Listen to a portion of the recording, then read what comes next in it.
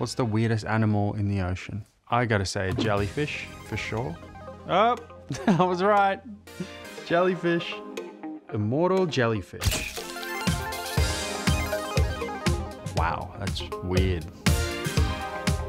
They might not have a proper brain, blood, or even a heart, but some jellyfish species can live forever. What are their secrets to survival? Hey, Kylie, how are these things alive? Jellyfish are really simple creatures. So they effectively consist of a layer of tissue that covers the outside of their body and a layer of tissue that covers the inside of their body. And between those two layers of tissue is mainly water with a few collagen fibers. Okay. And they can grow very quickly because they're effectively 95% water.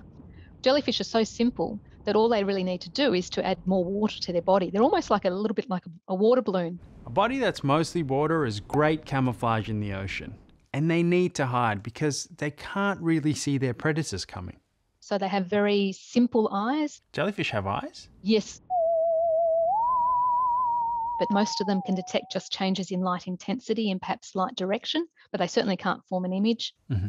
They don't have a well developed brain. They've got a very simple nervous system, so they can probably respond to stimuli, but they have no cognitive ability. Who needs eyesight when you can shoot venom? Underwater cinematographer Dean Cropp has swum with deadly jellies. Some jellyfish have stingers, they've got nematocysts that they can sting you with, and some are very, very deadly, especially the box jellyfish, which I grew up with up in far north Queensland. I've been stung on my foot and it was so painful. I screamed and I yelled and I said many, many horrible profanities. The reason their toxin is so, so strong is it catches animals and feeds on them. And if that animal isn't immobilized straight away, as it kicks and struggles, it will just tear that fragile jellyfish apart. I hmm. was lucky because other people who do get hit on the chest or the neck, it can cause you lifelong damage or it can take your life. There's another variety that's just like the Terminator. They just won't die. So typically with a jellyfish life cycle, the life cycle goes in one direction. So you have the medusa that produce the larvae, the larvae produce the polyps, and then the polyps produce the medusae again. Mm. But we found that in some species of jellyfish, they're actually capable of reversing their life cycle. Wow. So there are some species where the medusa can actually revert back into being a polyp form. It can actually just swim back down to the sea floor and it will just slowly revert back into this tiny little polyp form. Um, that's, yeah, wow. So those polyps could persist potentially for multiple years, and it restocks the population of medusae every um, season. In theory, it could be immortal, but in reality, something will eventually kill it, so it's unlikely to be truly immortal. Many animals are facing extinction, but some jellyfish species are exploding. They gather in masses or blooms. I had an extraordinary experience with jellyfish off of the east coast of Newfoundland, Canada, in Terra Nova National Park we accidentally stumbled across this massive, massive bloom. Wow.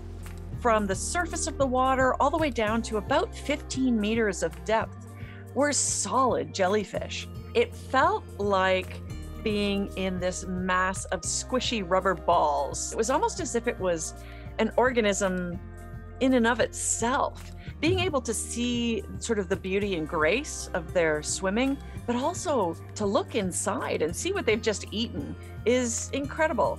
It was so exciting to be in and amongst them. I literally wanted to breathe every last breath out of my tank before getting out of the water. Bloom encounters seem to be happening more often. So the blooms might occur just because of the aggregation that's driven by currents.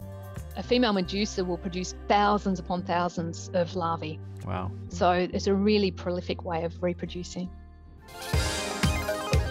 I think in terms of the weirdness scales, I thought it couldn't get any weirder than the four penises on an echidna.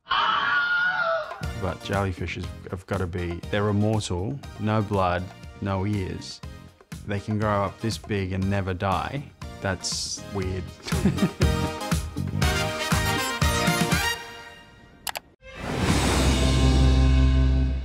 Thanks for watching. Check out more weird and wonderful videos here.